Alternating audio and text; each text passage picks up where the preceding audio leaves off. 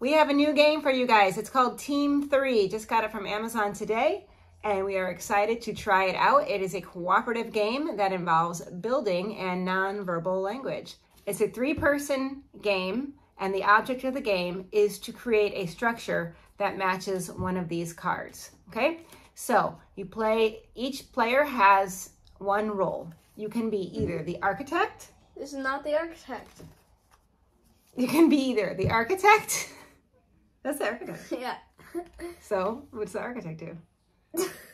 so the architect is the one who's actually going to be looking at these cards. These cards are the plans for your structure.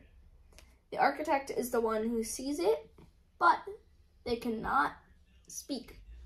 So they cannot say how to build it, and they cannot point to any pieces. They just have to make gestures. If I want someone to put this, I might do something like this. Um, That's the architect. then, the interpreter. Is that what it's called? Mm, Supervisor. Then the supervisor.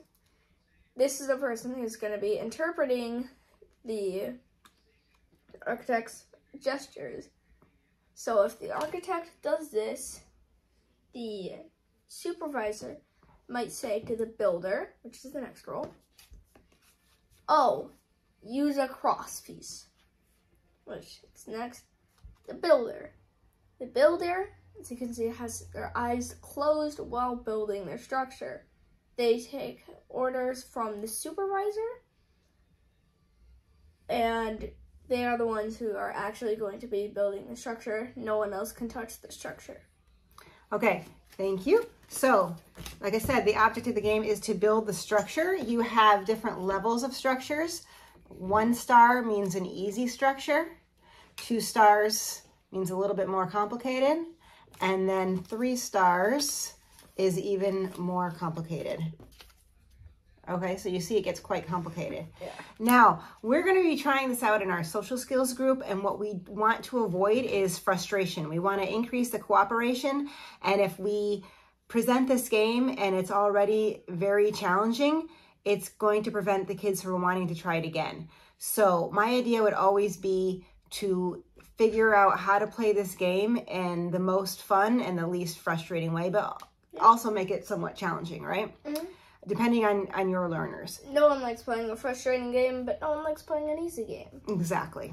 Okay, so the way we modified is, first of all, we only have two players right now. So we're gonna show you how you can play with just two players. We're gonna play two different ways with just two different players, or two players. Okay, so now we're gonna play a modified version where we are eliminating the supervisor. yes. So we're just going to have the architect who is able to use the nonverbal communication and the builder, but the builder is going to be able to use their eyesight. So this is an example of it of an easy card. So I'm going to be doing this. I'm going to be the architect and I'm going to be using my nonverbal communication and he's able to look. We're Alright. basically combining the builder and supervisor role together Yeah. to create the builder visor. Ooh, I like that. Oh,